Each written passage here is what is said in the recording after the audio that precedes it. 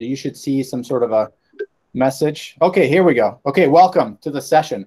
Uh, a quick workshop webinar with Nikki Diehm. She teaches social studies at Chardon Middle School. She's here to share best practices around how to manage uh, virtual classes and uh, kids that are in the classroom connecting and working with kids that are home remotely and so on and so forth.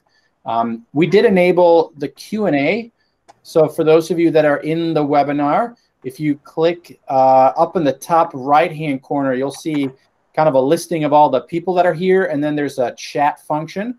Uh, but then if you click on the activities tab, which is kind of like a square triangle circle, you'll see that there's a Q&A available for you. And so please put your questions in there. And if you see a question that uh, has already been asked, then you can just upvote it and then it'll kind of like rise to the top. And then um, I'll I'll do my best to, to shoot those questions over to Nikki as she goes along. But um, we're here, we're excited. Nikki, take it away. And if you want to share your screen, that's okay. Uh, but we're all yours. Awesome. Yeah, I will at some point, mostly because I took a screenshot of what my like Google Meet looked like today because I was thinking through what that looked like.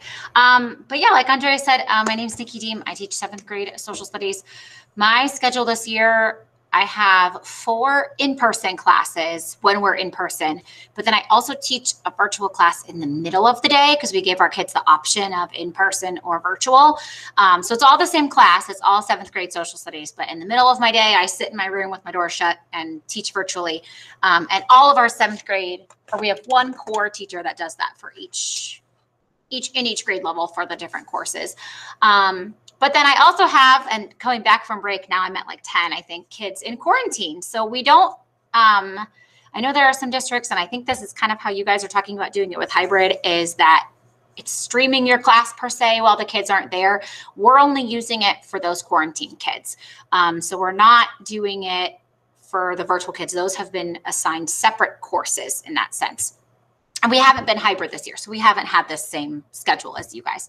Um, so Andreas just called me to kind of talk about what that looks like. Um, it took a while to figure out. We didn't actually have any cases or quarantine kids until October, so it was a smooth ride for a little bit, as smooth as it could be with like masks and shields. But um, but so once October hit, we kind of had to shift gears and think about what made sense. And the constantly emailing kids throughout the day was not working, and that was pretty frustrating. You know, I my schedule is bananas. I don't I eat lunch during my virtual class, so I can't respond to emails to kids, you know, during the day. I just don't have the time, and so it was pretty frustrating. And we had to kind of sit down and think what made sense, um, and what worked with our union because that's a you know that's a part of that too. And so what we kind of decided, and it took a while and some things, is that we have a lot of devices. I'm sure you guys are in the same boat. I have my desktop, like I can, I'm going to move my camera here for a second. I have my desktop here that I, you know, work off of. This is me normally I have my double screens, but then I also have a, a, multitude of Chromebooks so at my disposal. So it was kind of a uh, working through that. And so I have my Chromebook here that I also have the Meet on. So when I have quarantined kids in my room and I have them every period of the day, of course, I don't get a break in that aspect. I log into the Meet two times. And you yourself can be in a meet as many times on as many as devices as you need to. I found teaching virtually too, when I do breakout rooms, it's a lot easier to have more devices open and be in multiple rooms rather than switching in and out of rooms. That's been helpful for me too. Um, so I have this little Chromebook that I keep at the front of my room. So up by my smartboard, I keep, or wherever my point of instruction is that day, I keep my Chromebook up there with my Google Meet open. On that Chromebook, I have my sound, my mic on. So, and I use a microphone too. I'm not sure if you guys have, like, we use microphones too, and they work. It's fine. I keep it on. The kids haven't given me any complaints about feedback or anything like that. So it's great for, because talking through a mask, you can't, you can't not use the microphone, you know, for those in-person kids and neglect, neglect them as well. So I use the microphone. I have the computer up at the front. On this computer, my main desktop computer that I'm on now, I also have the Meet open and this is where I share my screen. It's my reliable computer. I know it works. So if I have to run a Pear Deck or something, I want to run it off my desktop. And I share my screen so that on one screen, you saw that I had two monitors. On one screen, I have my meet. On the other screen, I have what's projected to the board. And all the kids in the room can see that, whether they're virtual or they're in person, they all are seeing the same thing and they're hearing the same thing. And that I found was just what I needed to do. And a bunch of other teachers have started doing the same to make our lives easier and to make those kids feel included and a part of the class. Um, I joked with Andreas too. The other thing I do, like, you know, halfway through the class when you're done with your instruction and you're kind of ready to have the kids work independently, I'll jokingly ask the kids, okay, who wants so and so today? Because if it's only, you know, one kid, and I will hand my computer, my Chromebook to any kid in the room and it sits on their desk and they talk to that kid. And, you know, if that kid has questions, they let me know.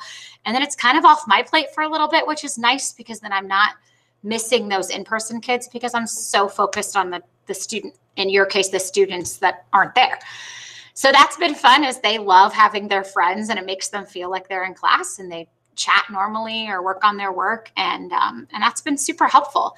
Um, there's always tech things there's some weird things you know you can't really play a video very easily that feedback doesn't work. So sometimes if we're watching a short clip of something i'll post the link in the chat for the students that are virtual.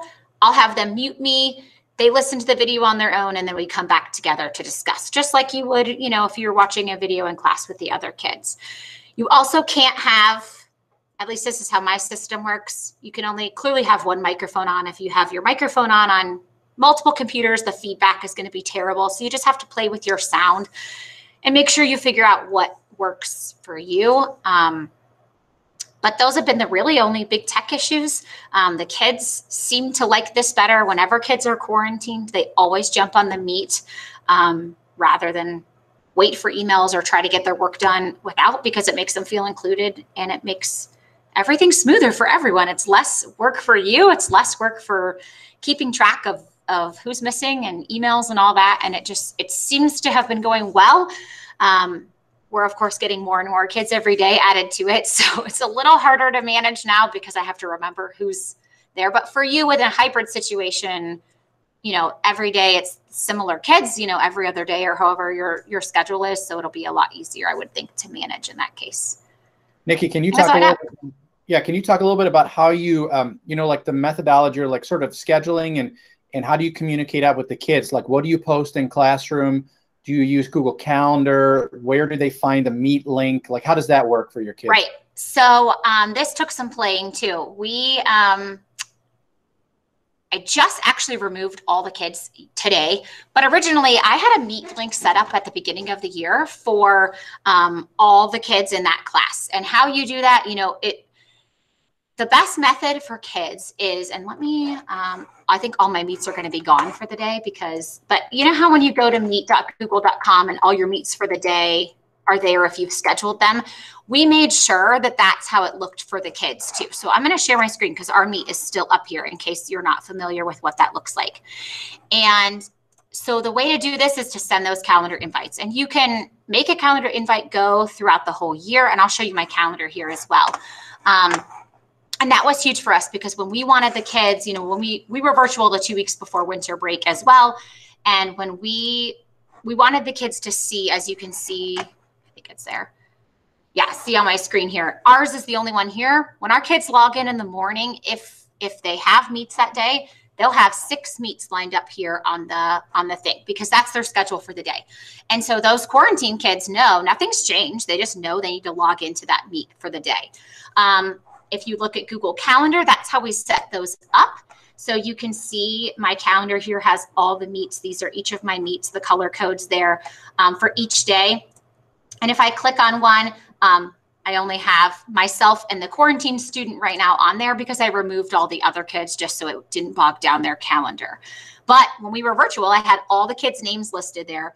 And when you type out all of the students' names, it's, and let me see if there's one where I don't have a a name up. Not that it matters. You guys are probably fine with that. But if you type out all of the students' names in the invite, and you only have to do it the one time, and then you move the meet, you move the calendar invite forward, that's how it shows up on their meet screen.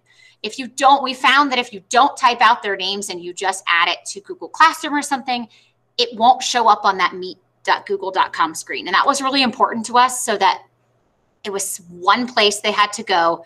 They could also access them from their Google Calendar, but this was the place we wanted them to be every morning. You go here, you see your schedule for the day. It's super easy to change. If we like, we did map testing from virtual when we were when we were before winter break. We had a different schedule that day. It's super easy to adjust those times that day, and the kids don't have to do anything different. They just have to go to meet.google.com, and all their meets for the day would show up.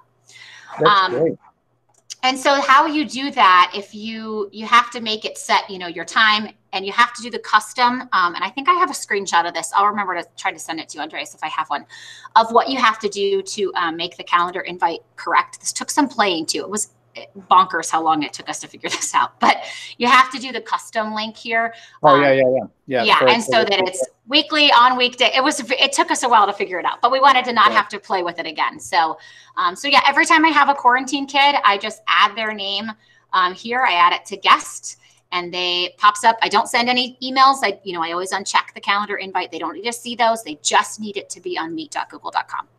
Um, and that's how we've that's how we've done that, and it's been really helpful and efficient.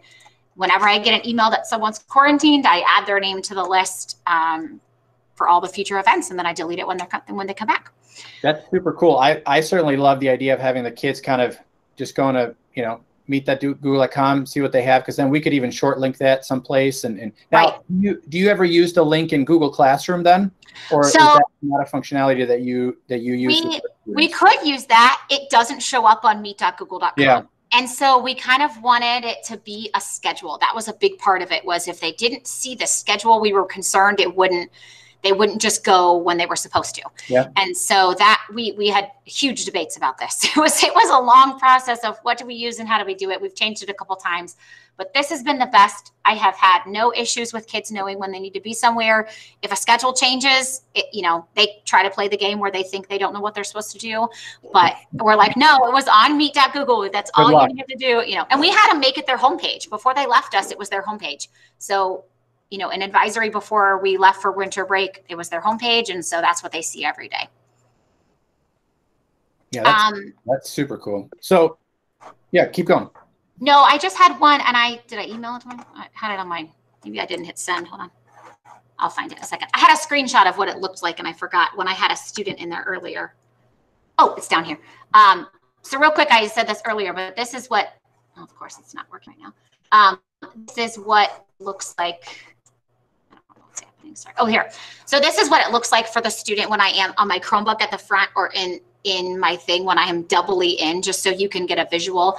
Um, when I'm presenting my screen, that's what the presentation mode looks like. And then that's a student, the one that's name's blocked out. I'm in there again. And then I always have my, I just have my camera on just so that the kids feel like they're in the classroom. But um, that's a screenshot just of what Meet looks like in that sense when you're, when you're in there twice and you're sharing your screen. I forgot to say that earlier, but. And we're, we're not seeing that screenshot, I don't think. You're not. Well, of course you're not. We're seeing As I say.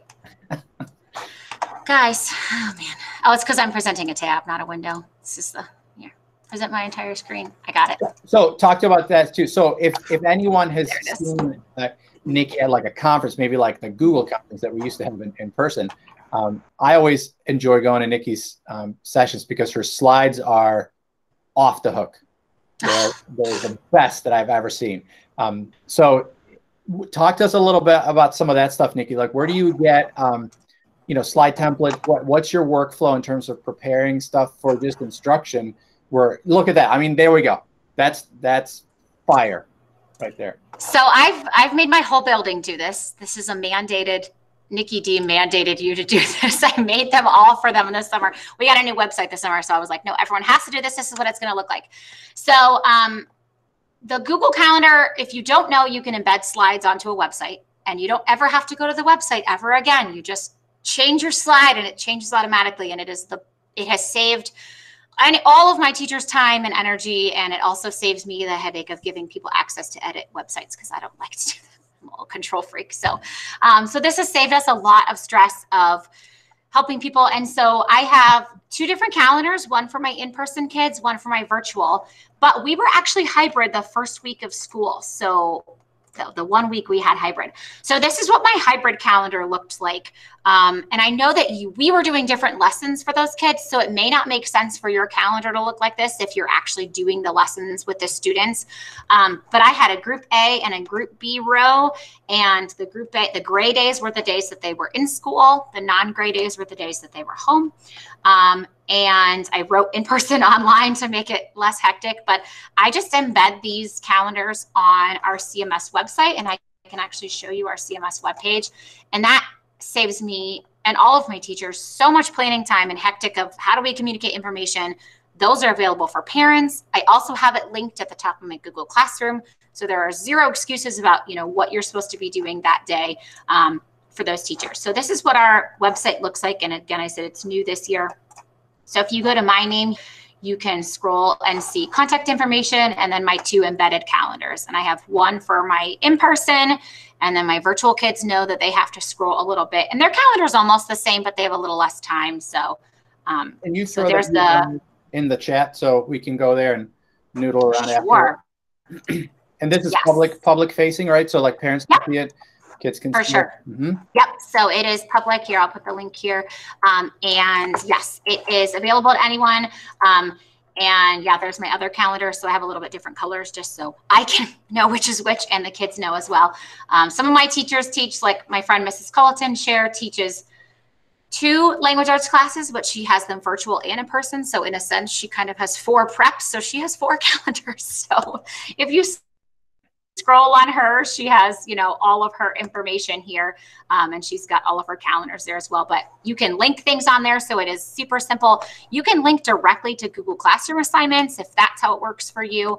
Um, but yeah, you can. This has saved us, and again, I've pretty much made every person in my building do this because it's just easy for parents to access, easy for kids to see and organize, and then it makes everything really uniform across across the school, which has been super helpful. So it sounds like the whole middle school sort of uses the same format, which is simple. Then, can you uh, you tell us a little bit? We talked, uh, Nikki, about that you did sort of your your course that you did virtually in the fall semester. Talked about talk to us about some of those things that you learned, like what worked, what didn't work so well. Timing. We talked a little bit about pace. Yeah, I have 20 minutes less with those kids than I do my in-person kids, and that already is the first boundary.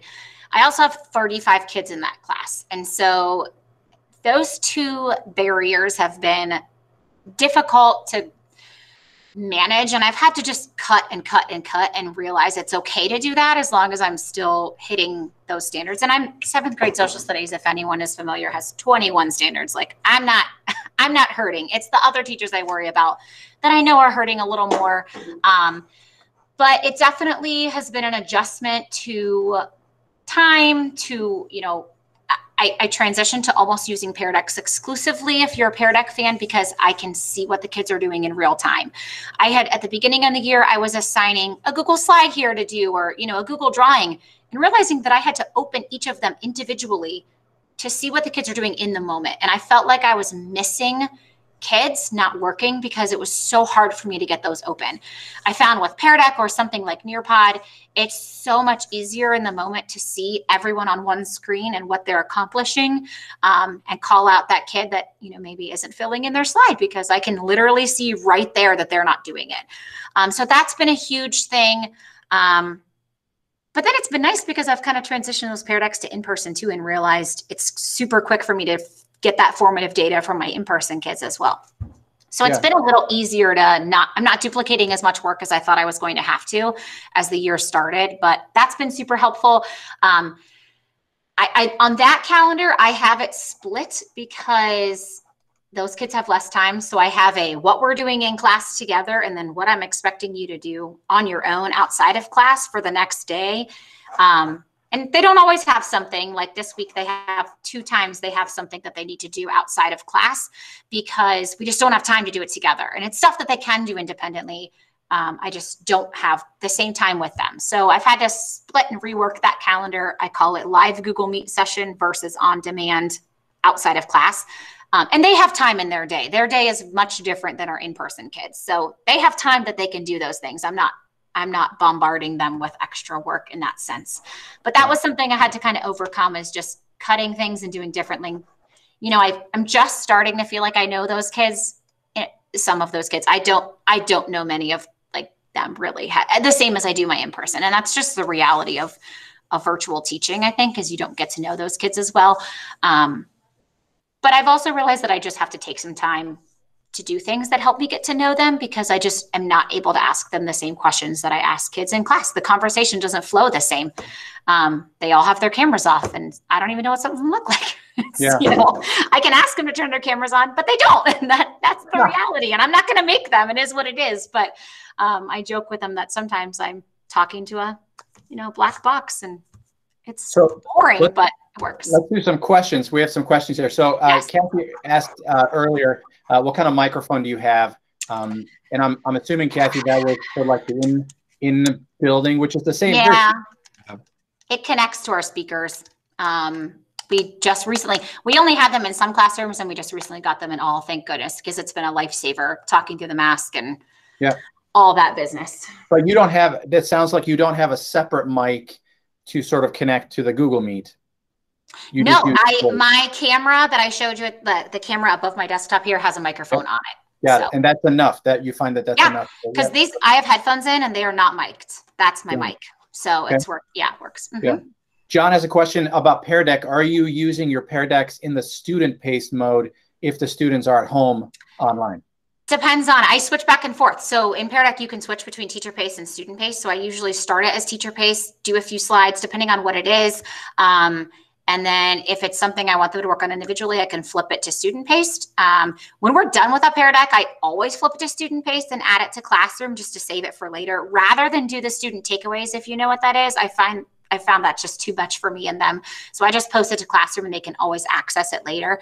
Um, but yeah, I flip back and forth just depending on what the instruction is, what what the need is for that for that lesson. And just to reiterate, so oh, I guess my question for you, Nick, do you, you have Pear Deck the sort of the premium version, the paid I version? I fought for that. We got a grant for it this year because I, I I went to my we didn't budget it in over the summer, and then they added all these new features this summer. They added the teacher feedback and a couple things, and I was like, we can't live without this, and so we kind of had to bombard our assistant superintendent after thousands a month, thousands of dollars have been spent on all these other things we needed. And yeah. so we ended up getting a grant for it to cover us through October, but we will put it in our budget. My principal already said for next year because we're realizing I, I'm the admin and I can see how many teachers are using it and it's incredible. I mean, it, it's amazing. So that's so awesome. At Streetsboro, for those of you that are into cult, we do have the premium version as well. We we went with sort of a district package. So if you're not using it and you're wondering what what Nikki's even talking about, we have it. And Dan, who's with us today, would be more than happy to, to spend some time with you to get the Pear Deck going. It's an amazing tool, but we did see, we did have a conversation the other day that if, you know, if we're seeing not as much use, then maybe we spend our money elsewhere. So it's one of those things where like, not kind of use it or lose it, but I mean, good tools cost a little bit of money. So all right, another question. Yeah, go ahead. Yeah.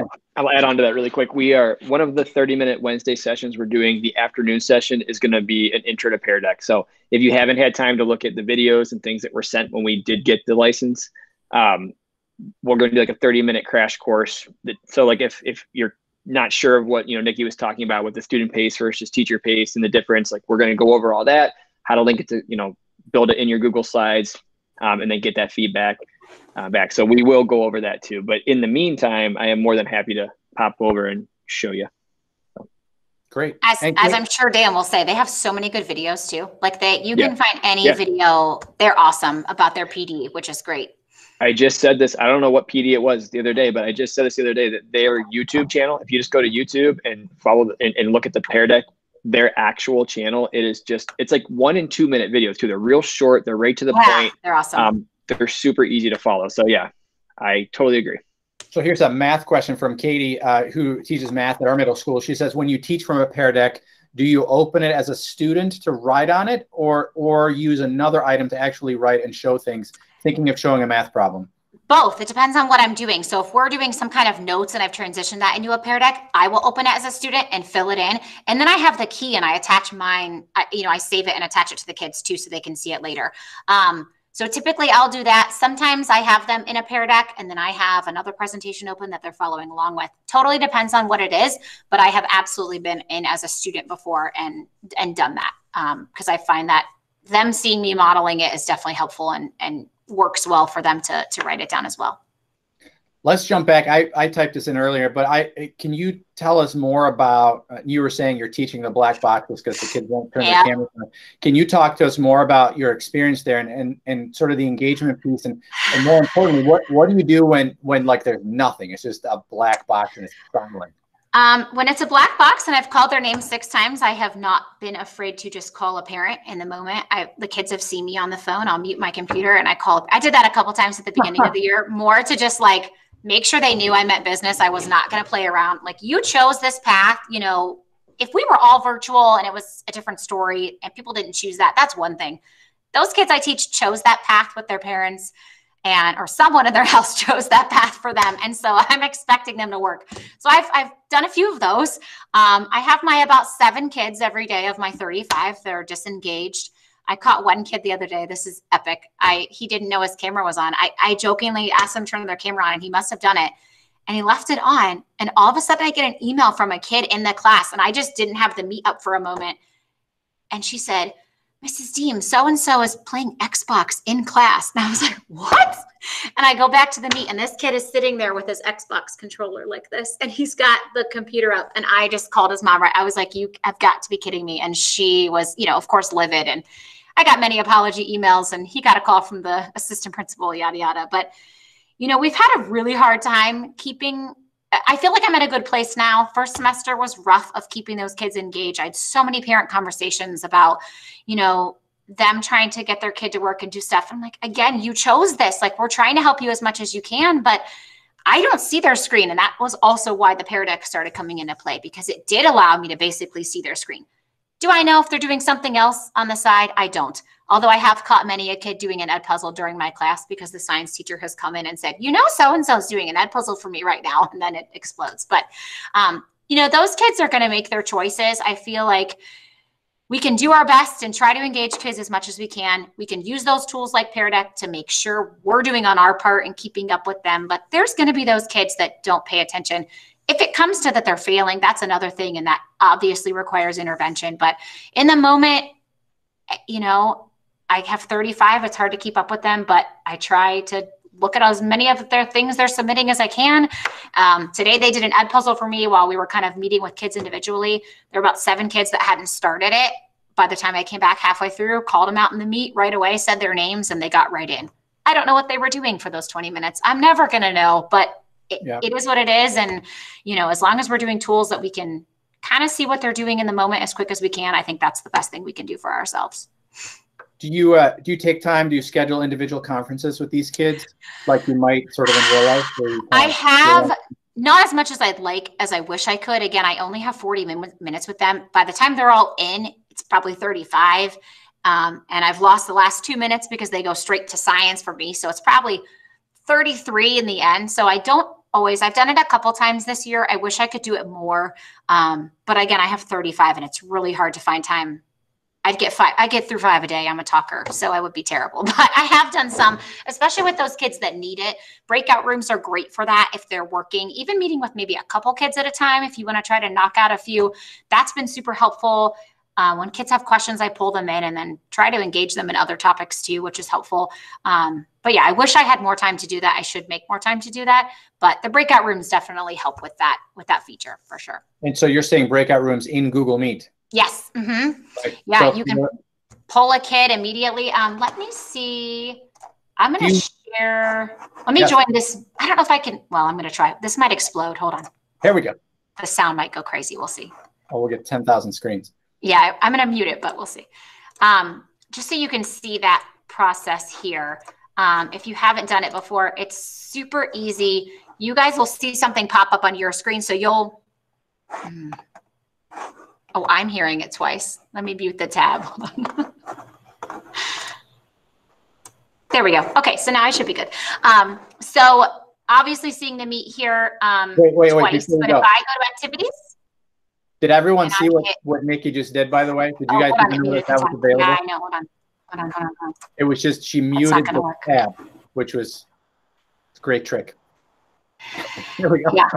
Except it muted it on both of them. I'm not sure why. So okay. I'll just hear myself for a minute. That's okay. Um, so you click breakout rooms and this is the teacher and but you'll also see it am i not the host you are not the host. That's i can't do it. So you'd have to do it. But i can. but of course i'm not the host. But if you click that it's really easy. It just um, asks you it, it'll do it automatically. So if it will assign rooms if you want them assigned you can move the kids around. So if you can predetermine the rooms you can do that as well. Um, and you can edit the rooms at any time. Can so, i dem- can i demo nikki please please do yeah. And it's awesome because those kids go in and out. You can close the rooms at any time and the kids will jump back to this it's called the main call. Um, and yeah it's it's awesome. It's been really helpful. They didn't have it until you know november or something so that was frustrating and we kind of had to drive again and figure it out. But um, but yeah, if you watch Andreas there, he's going to hit breakout rooms and so you guys can at least here, see teacher end. I go to my top right hand corner, click on that uh, triangle square. I go to breakout rooms, and this is a good call to demo because we have about 20 people in here. If I then say just here, you see everyone that's in the call, and then I just say set up breakout rooms. I can say five, four, three, two, one, and see how it kind of automatically just adds people random. Or if you then wanted Mrs. Devers up here, you just drag and drop and you can make your own rooms. You can set a timer, you know, end breakout rooms after X amount of minutes. You can shuffle, you can clear, you can do whatever you want. It's very, very simple. And then we're not going to go into it now, but once you do that, uh, it's very simple to then kind of as a um, host of the meeting, jump in between rooms. So you could create five breakout rooms and then walk in between each room and kind of get an idea of what you're doing. Yeah, it's wonderful. And in that screen too, one of the things I didn't learn till later, which is just little things that you're like, what? You can name the breakout rooms, so you can change the name of them, which I just I really don't have a purpose to, but I got excited to learn that I could do that. And then you can also just type the name of someone that's in the room. So if you're really far down in that screen, it's hard to move them sometimes. They don't move as nice. You can type a name and it pops up, just like if you were sending someone an email. Um, so that was helpful too little tricks like that just help make it go faster as you're that's the one thing is trying to make the rooms quick if you do want them set is is harder sometimes you have to let the kids talk amongst themselves while you make them but the shuffle's nice and and super efficient if you want to go that route all right let's talk about what isn't working nikki so what like what do you wish would be different what what are some things that are super frustrating what uh, um, do you want more support from your district on? It's and you don't have to name any names or like call anyone. I'll out. call them out. Don't worry. just, you're here, so we can fix it.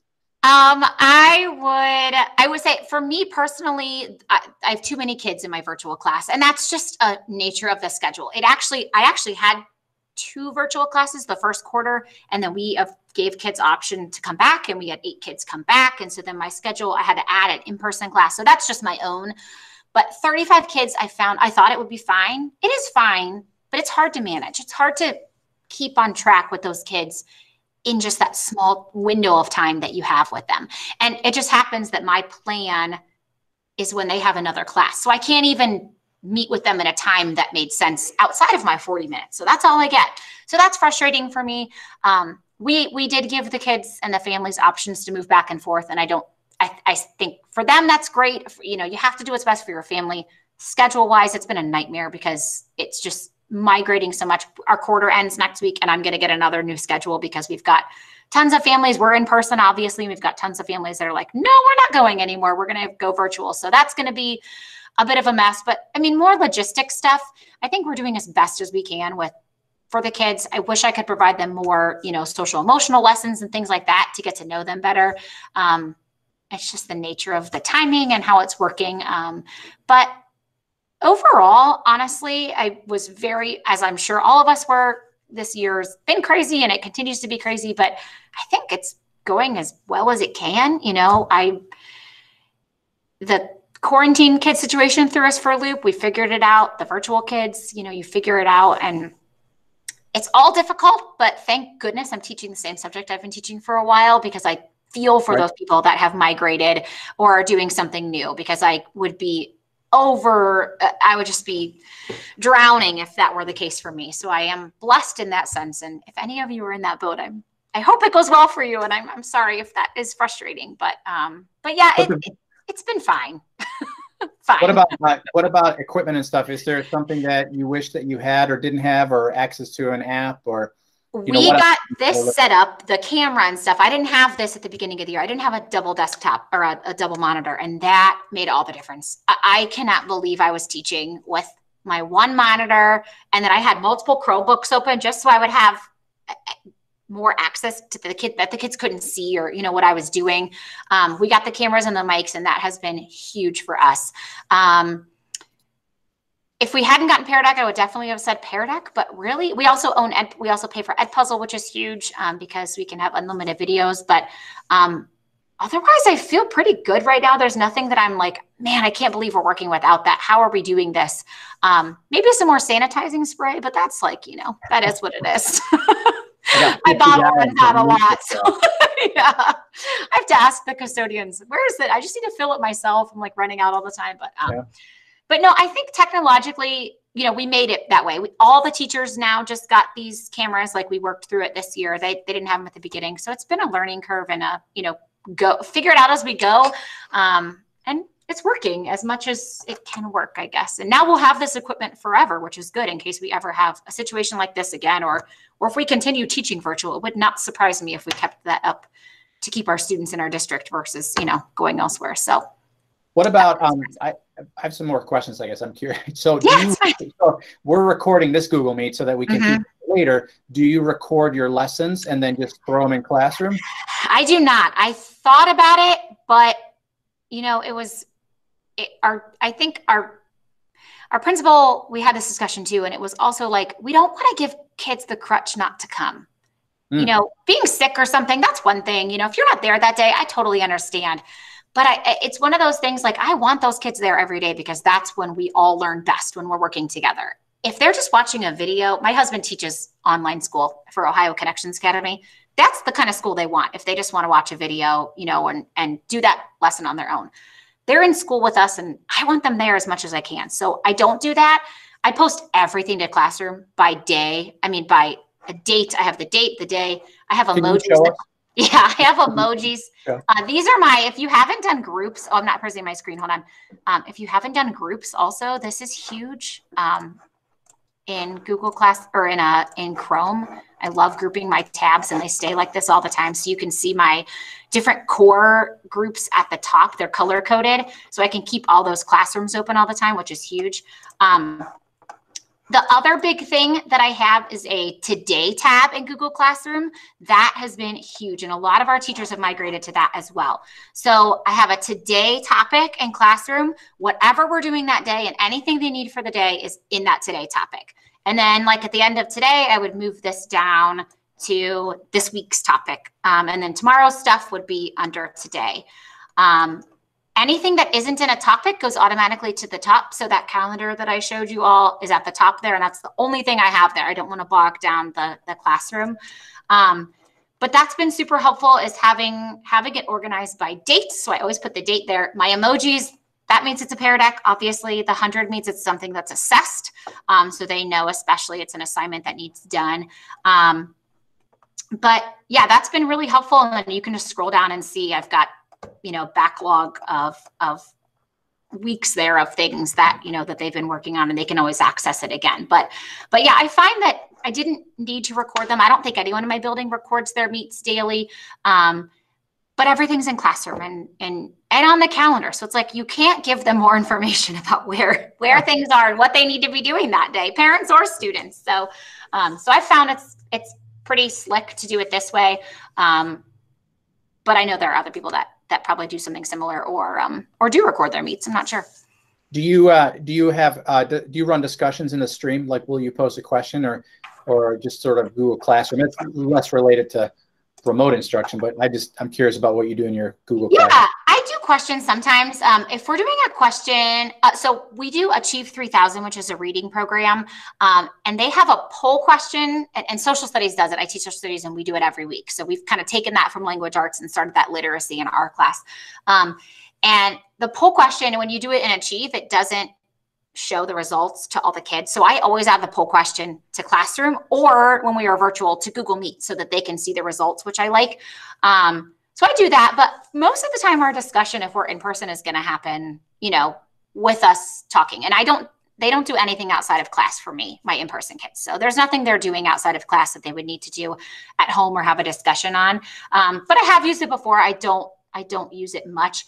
Um, I have comments on, but they don't really comment. But I do use the private comment feature a lot to kids, and they get the we we set their email notifications for the kids. You can change your notifications for classroom. So I had the kids change their notifications so that they always get an email when they get a comment, so they know to go look at something. Um, but we had them turn off like you don't need to know every time an assignment's posted. You'll get emails forever if that was the case. We had them turn that off. Um, but the private comments is great because it really is almost a private conversation between you and the kid, as long as they remember to check them. they don't always, but they try. Show us this grouping tab. I'm, I'm wondering if you get mm. free free resources for Google Chrome because my mine would crash immediately if I had that many tabs open. But it's my desktop. I'm telling you, this desktop it's newer, newer, and I, I, couldn't do it on my Chromebook. Although I did it on my Mac when we were virtual and it was fine. But yeah, um, yeah when you want to group a tab, so these are already grouped. All you have to do, let's say I want to group um, group this tab here. I'm going to right click and you can hit Add tab to group. Those already exist, so I could add it to one of those. I can also drag it. So if one of them is open, you can drag it and it automatically you'll see the color loops over top of it. And that means it's going into that group. But I can also do it manually. If I want to start a new group, I go to add tab to group and hit new group and I'll just say test and you change the color. Um, and it makes a new little group there and you can drag anything into it that you want. Um, those stay open all the time for me. When I shut down my computer, I don't close my windows. I just shut it down. So then they reopen magically when I turn my computer on. So my groups, my groups are always there. Um, which is great because then I don't have to set them. And I only have their classroom in there. And usually, like if they're doing something, their Pear Decks, I'll put their Pear Decks in there so that I have them open and I don't have to continuously open them from Pear Deck, um, that kind of thing. But it's helpful because I just don't bounce back and forth as much. Um, and then I keep my pin tabs up there that, you know, the things that they're going to, that I need every day. So, yeah. Love it. Let's. Yeah. Uh, do you mind? We take some questions from the from the crew that's here. If you if you have a question, just you know unmute yourself. Maybe raise your hand. Use the Google Classroom feature. We talked about that down in fifth grade today. Just sort of you know tell your kids that there's a raise hand functionality, and then all you do is you click it, and then your the meeting host will get a notification that says you know Dan Stitzel is raising his hand. Dan, you want to try it? Let's do oh, it. Yeah. Oh, beautiful. And it pops up. And so if you have a question, let us know. I do know, Inger, you had a question. I saw your hand was up at one point. I don't know if you still have your question or not, but I know that was a minute ago. She's playing with the hand feature. You're fine. yeah. Testing it. You can also unraise those kids' hands, which is nice. Um, sometimes they forget. So if you're the host, you can um, unraise their hands up in the bar there, which is helpful because sometimes there's so many hands up and I have to just shut them all off and say, do you actually have a question? Do it again, please, because sometimes there's too many. Any questions from the field? We know it's getting late in the day. We're super appreciative of your time. Um, how much time would you say, Nikki, you spend on um, like teaching the kids how to use the, the stuff, or are they pretty self-sufficient by the time they get to you? At this point, they're getting more self-sufficient. We've this is year six with Chromebooks for all kids, and so you know they've had a good base of of that coming to me. Um, that's I, consider that part of my job though is to teach them those tools. So we'll do new stuff like we'll do a Google drawing, and I'll spend 20 minutes showing them all the drawing tools so that we can do that together. Um, because I think it's important for them to to get that, and they just don't always get it. And sometimes we just assume they know how to do something, and we find quickly that they don't, and then we have to kind of circle back. Um, so we, you know, we do lessons. They're doing, and we have advisory in the morning, and they are doing the oh gosh, I'm not going to get the name at um, the Google where they become certified. What what is it, Dan? the applied digital skills? Yes, the applied digital skills. Thank you. So we've signed them up for that. It went a little wayside when we knew we were going to go virtual and we started hounding them with all this other stuff and scheduling. But um, but we're going to get back to that. Um, applied digital skills is awesome because you just sign assign lessons. You don't have to do anything, and they learn new Google stuff through doing rather than just watching. So that's yeah. that's a fun thing. And it links like right to classroom now, like super yeah. easy. You, you used to have to like pick and choose. Now it's just like awesome. send it to classroom, send it to classroom. Yeah. I know Missy Hayden, she does that. We have a seventh grade Google Classroom for all of our seventh graders. So we just push it out that way and it's so slick because then I all the other teachers don't have to do anything. I just push it out and and yeah. they do it. So that's been helpful. Kathy has a Kathy raised her hand. Kathy. Hi, Nikki. Thank you so much for doing this. Of course. Um, my question is like when you have kids virtually because they're quarantined or whatever, how much time do they spend live with you before you send them off on your own? Like you do like a mini lesson and then they're gone, or do you keep them with you the whole time? Or It totally depends on what we're doing. Today, they I they had a, a quick Edpuzzle to do, and then they were working on highlights in their Achieve Literacy article. And I had a kid in every class on the quarantine computer, and I said, you know, I'd like for you to stay until those things are done. If they get done, I'll look really quick, and then you can go. And most of them finished early. Those kids that were staying in class, we were doing like little trivia questions and other stuff. And I told the kids, if you want to stick around, you can. Most of them were like, no, I'm done. I'm out. so um, I think it just depends. I have found, and this is a, a big thing, I think, with my virtual kids and these quarantine kids. If you let them go before you have gotten what you want from them, there's a 50% chance you won't get it. so in the beginning of the year with my virtual kids, I would say, okay, guys, you have an Edpuzzle to do. Why don't you guys just go work on your own and I'll see you tomorrow? And they would just go eat lunch. I would say, no, no, no, I meant like right now, like go do it so I can watch you. And so I found I have to keep them in the meet the whole time that they belong to me. If we get done early, that's one thing. But I, I did find pretty early on that if I let them go, I'm not getting what I need from them. And then it's just more tracking and they don't have it done for the next day. And then we can't move on in our lesson. And there's, you know, a lot of things. So so I think getting what you need from them and what you expect from them is important before you just send them on their way. So we're setting up our expectations to send out to students and parents. So mm-hmm. like if we say this is our scheduled time for language arts, we expect your child to be in the time in the meet during this time, and then daily we could say maybe this day they don't have to stay as long. Maybe the, the next day. So that's that's how we're trying to do it. I, Our wording, our wording was almost the same. It was you are required to come to the meet, and and our meet, our virtual schedule was our normal schedule. We didn't Mhm. change it. So we said you're required to come to the meet at this time unless your teacher, uh, per teacher discretion or something along those lines, and and they had to be there, and then we could let them go if if we were done and they didn't need to be there anymore. okay. And some kids I kept longer because they maybe didn't have a class. And I was like, oh, you want to stay? We can finish it now. And they would do it. And I would say, great. Very so good. it's dependent. Yeah. Thank you so much. Yeah, of course. Yeah, great questions. Who who else? What questions do you have for Nikki? Because we only have her for another two minutes, and then we're gonna wrap up. I just want to comment too, and this is what when I saw this via Twitter, like Nikki tweeted back at something I posted, and this is I think what sparked this whole conversation. But the one thing you keep saying is the quarantine computer, and I love this idea.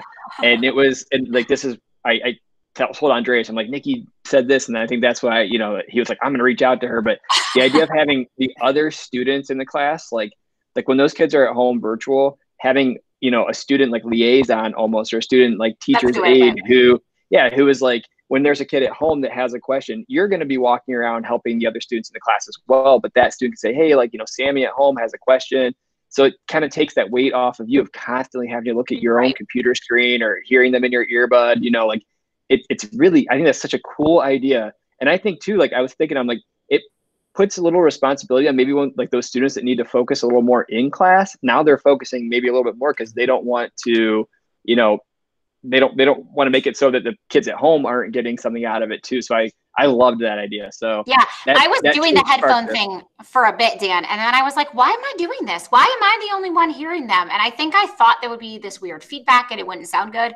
And once I got that figured out, I was like, no, no, this is not on me anymore. it's like Yeah, same thing. I was like, the kids need it and it, it works way better and they they enjoy it. So I, I ju- just thought of like the kids in my own class who needed a little more ownership. I'm like, there you go. Like that is Yeah. such an easy way to like get them involved and like feel Yeah. like they have some of that ownership. So hats, I love that idea.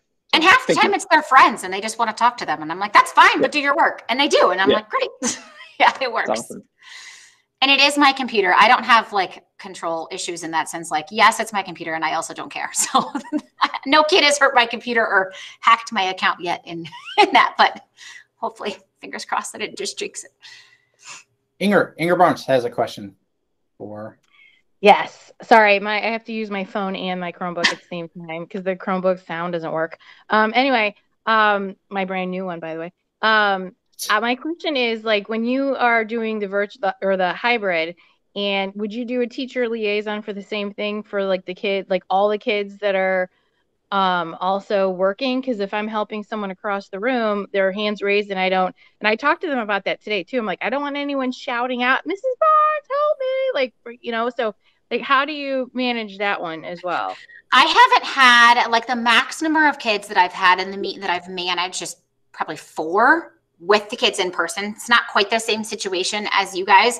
Um, but I think as long I think it's important to remember that when those kids are in person, and I hate to say like one is more important than the other, but when those kids are in person, those are the kids that are there in the moment and the other kids are coming the next day. You know, you're getting those kids. So I think making sure you're paying attention to those in-person kids, like you said, working with someone across the room, that's your day to do that. And those in those online kids, I think giving them to a I'd like student liaison, that was a great phrase, Dan, is is a great idea because they can maybe field questions. And what if that kid has a question, but the liaison could answer it and you don't have to? You know, I don't know. I think there's that's huge have them use the chat feature a lot. I think that's important. Um, I tell them sometimes from across the room, I can see if the chat has changed versus a raised hand. That raised hand thing is pretty tiny. Um, so sometimes I'll just notice the chat. Again, if a, if a kid can answer their question, I let them do it versus, and then if I can't, then I'll go over and help. But I think it, you know, I don't want to put say necessarily you have to put priority on one kid or the other. They're all your kids, but those in-person kids, they need you in that moment because they're not going to have you the next day and vice versa. So I think it's important, like you said, to really focus on them. And if you can use that student liaison to do those questions and et cetera, I think that I think that's huge if, if you can make it work. But yeah, I haven't had the number of kids that you will have in that situation because we haven't been full hybrid yet. Yet. Anything could happen. That's right. Anything. Yep. Other questions, other questions for Nikki, or, or we're gonna, or we're gonna uh, wrap it up, I think, because it's about four o'clock, and and I, I, there's so much that I have to just sit, sit down and think about, Nikki. So now, like you've shown us all kinds of things that I hadn't even thought about today. So I and love. Andreas has my email. If anyone needs anything, please, I'm I can answer anything or, or Dan, you know, however you want to get in contact with me. If you think of something and you have a question about how to make it work, um, but yeah, whatever you need. Thank you so much. We appreciate your time. Of do you course. drink coffee, Nikki? You coffee drinker? I do, but you don't know me anything. Okay, okay. It's fine. I just- make sure. Make sure. Mo- is Molly on here? I didn't see Molly. Molly's like, Molly's a tea person, so I got to, you know, I got to ask. All right, thank you so much. Uh, Thank this you is- all. Thank you, this is Nikki. recorded, so we'll share it out with everyone, and and have a great day, and have a great rest of your week. Yeah, you as well. Thank you. Thanks, Nikki. Thank you. Appreciate